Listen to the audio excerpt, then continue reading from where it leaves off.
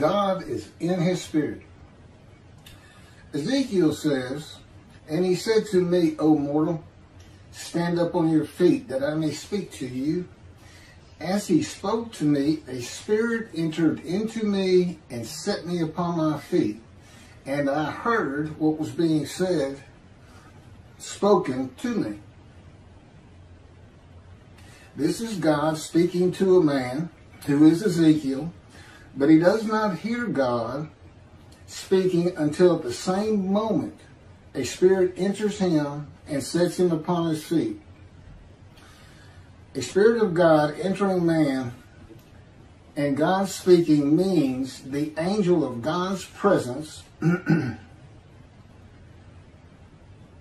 is the Holy Spirit, alighted upon him and entered him, and God is in him.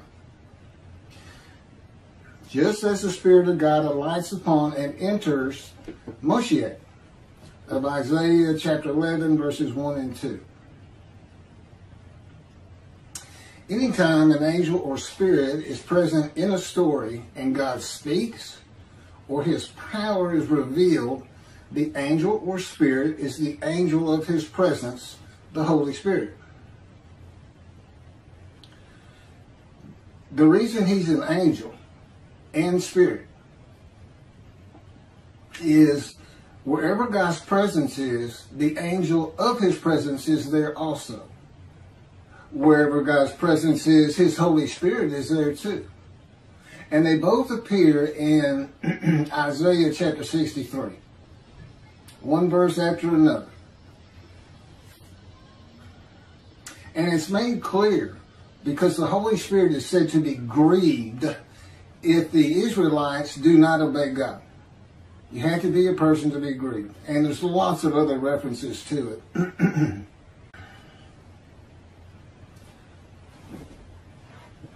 the person of God's Spirit is his constant companion that he created, and the reason any man he comes to is a man in divine beings, a host of the Lord's host. This is who Jacob said he wrestled with, and Elohim spoke and renamed him Israel, a man in divine beings. Well, God's always, they're, they're together. Angel of his presence, God's presence. If he comes to you, he's going to have his spirit enter you, and he is in his spirit. Moses tells the Israelites that God is here in order to test you, and in order that the fear of him may be ever with you. God had Moses set a rule before the Israelites regarding the angel he sent to guard them on the way and to bring them to the place that he had made ready. Pay heed to him. Do not defy him, for he will not pardon your offenses, since my name, Hashem, is in him. But if you obey him and do all that I say, I will be an enemy to your enemies and a foe to your foes.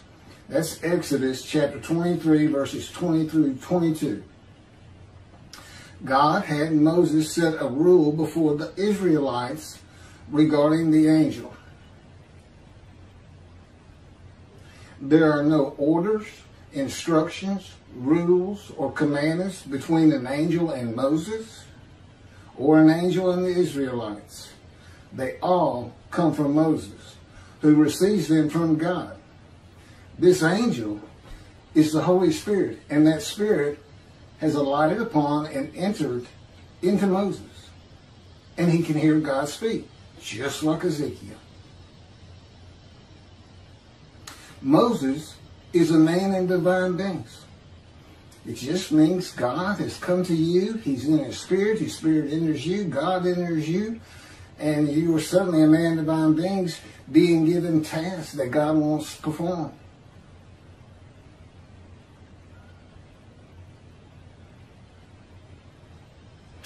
A man with divine beings is a host of the Lord's host.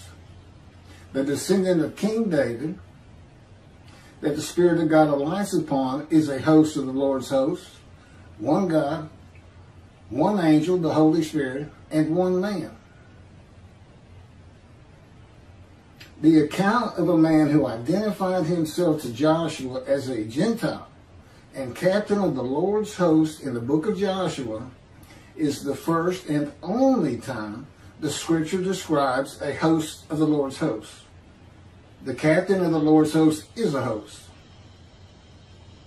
This is from the book of Joshua. Once, when Joshua was near Jericho, he looked up and saw a man standing before him, drawn sword in hand. Joshua went up to him and asked him, Are you one of us or of our enemies? Are you an Israelite? He replied, No. I am captain of the Lord's host. Now I have come. Joshua threw himself face down to the ground and prostrating himself said to him, What does my Lord command his servant? The captain of the Lord's host answered, answered Joshua, Remove your sandals from your feet, for the place where you stand is holy. And Joshua did so. That's chapter 5, verses 13 through 15. So, so Joshua threw himself to the ground before a man with a drawn sword that had just told him that he was a Gentile, not an Israelite, and said, What does my Lord command his servant? Now the man said he was a captain, not a lord or the Lord. The captain answered, Remove your sandals from your feet, for the place where you stand is holy. These are the same words God spoke to Moses at the burning bush. God is with the captain because the land where Joshua stands is holy. And where God is, so is the angel of his presence, the Holy Spirit. So the captain's a man in divine beings, which is a host of the Lord's host. The captain said, Now I had come, and he is never mentioned in the scripture again.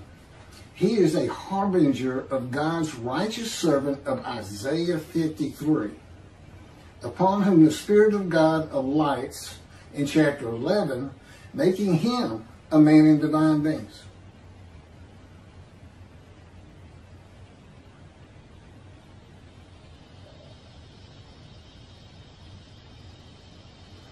Elijah, not Elijah, let me get to Ezekiel.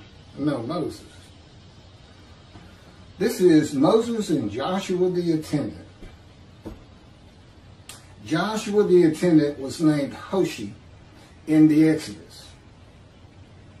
From chapter 13, verse 8. From the tribe of Ephraim, Hoshi, son of Nun. That's Numbers chapter 13, verse 8. And his name was changed to Joshua by Moses those were the names of the men whom Moses sent to scout the land. But Moses changed the name of Hoshi, son of Nun, to Joshua. That's Numbers chapter 13, verse 16. On the first ascent of Moses to the mountain for 40 days and nights, and return with the Ten Commandments, his attendant Joshua was with him. He just he went with him up the mountain, but he didn't go all the way to the top as Moses did. And he waited for him to come back down. After Moses descended and would enter the tent of meeting, the Lord would speak to Moses face to face as one man speaks to another. And he then would return to the camp. But his attendant, Joshua, son of Nun, a youth, would not stir out of the tent. And jo Joshua's name was Hoshi at this time, though the references are to Joshua. Joshua did not leave the tent of meeting where Moses would speak to God face to face. And at this time, the face of Moses was not seen as radiant when Moses ascends the mountain a second time for 40 days and nights and returns with the Ten Commandments, the skin of his face is radiant, and thereafter when he enters and exits the tent of meetings, the skin of his face is radiant. And Hoshi is not mentioned again on the mountain or in the tent. Joshua the attendant represents the person of the Spirit of the Holy God, the angel of his presence, who has alighted upon and dwells within and without Moses, and God is in his spirit as he was in the angel of the Lord in the burning bush. It says Moses Moses saw a bush that was not consumed. And it said that in the bush was the angel of the Lord. That would be the angel of his presence. And although Moses couldn't see, there's no account that he actually saw an angel of the Lord, but God speaks. He's in the angel of the Lord. He's in his spirit, the spirit of the Holy God.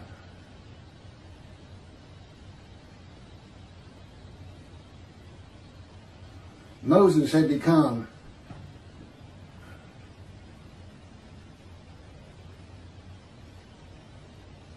right. So he's absent after that. But God is in the tent talking to Moses, tent of meeting, talking to Moses face to face. Moses leaves, goes back to camp, and Joshua, the attendant, Hoshi, doesn't leave. So what do you have inside the tent? God and the Holy Spirit. Divine beings. Moses and the 70 elders. God tells Moses, I will draw upon the spirit that is on you and put it upon them. They shall share the burden of the people with you, and you shall not bear it alone. That's Numbers chapter 11, verse 17. And then God drew upon the spirit that was on him and put it upon the 70 elders. And when the Spirit rested upon them, they spoke in ecstasy, but did not continue. That's Numbers chapter 11, verse 25.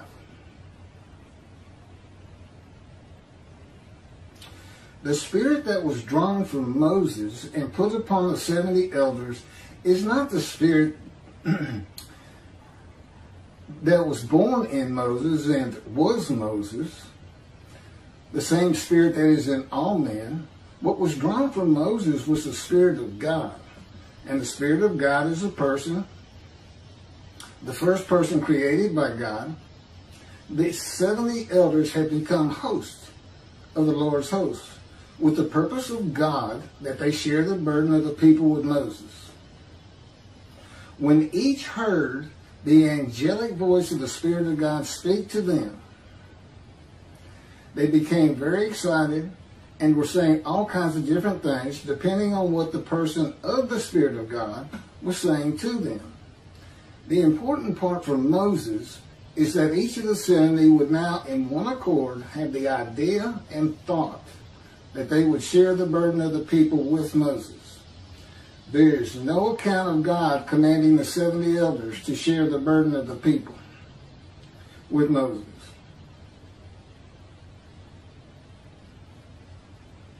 Now, God could have been the one that spoke to them.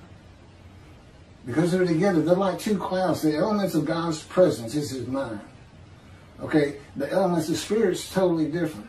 But like two clouds that can just float by in the sky and become one cloud, that's what we're talking about. That's what enters a man. And they would also be without him, within and without. The word of the Lord and Elijah. This is from 1 Kings chapter 19, verses 8 through 16, summarized. Elijah walked 40 days and 40 nights as far as the mountain of God at Horeb. There he went into a cave, and there he spent the night. Then the word of the Lord came to him. He said to him, Why are you here, Elijah? Elijah answers, and the word of the Lord calls, Come out and stand on the mountain before the Lord. To the word of the Lord, he, that's the messenger, that's the angel, that's the Holy Spirit. He can deliver God's words to a man. So he's out at the front of the cave, and he's being told, Come out here and stand before the Lord. the Lord passed by, and his power is revealed in a great destructive wind, an earthquake, and fire, but the Lord is not in them. And then a soft murmuring sound, footnoted to be a still small voice. Elijah heard this, wrapped his mantle about his face, and went out and stood at the entrance of the cave, where a voice addressed him, which is the Lord. Why are you here, Elijah? So the word of the Lord had come and said that to Elijah. Now God has passed by and revealed his power, and his voice is coming to Elijah. But he's not at the cave. He passed by. Elijah answers, and the Lord instructs him to go to Damascus and anoint Hazael as king of Aram, Jehu as king of Israel, and Elisha as the prophet to succeed him.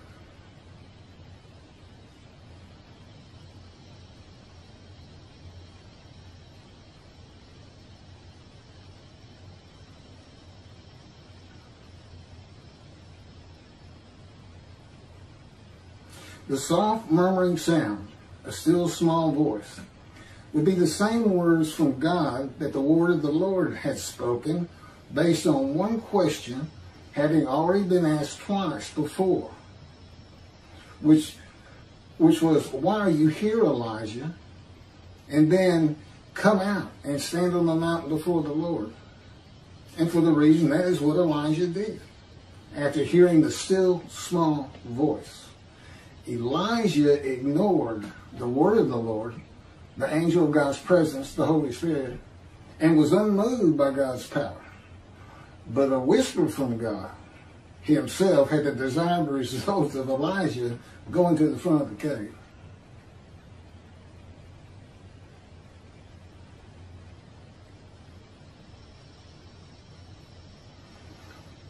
The person of the Spirit of the Holy God speaks the words of the Lord to man as one person to another person. And is the word of the Lord throughout the Hebrew Bible. The person of the Spirit of the Holy God is an angelic messenger of the Lord's words. He is the angel of his presence and the Holy Spirit. His, his angelic body, basically God created an angel and for his body, he did not give him, he did not give him human form with wings. His body is literally the Spirit of God. The angel of his presence, wherever God's presence is, his presence is. Holy Spirit, wherever God's presence is, Holy Spirit's there. So he's got an angel with the body of the Holy Spirit. And he shows up as both in Isaiah 63 in, in one verse, he's specifically referred to as the angel of his presence. I think it's 10. And in the next verse, he's referred to as the Holy Spirit. They're the same.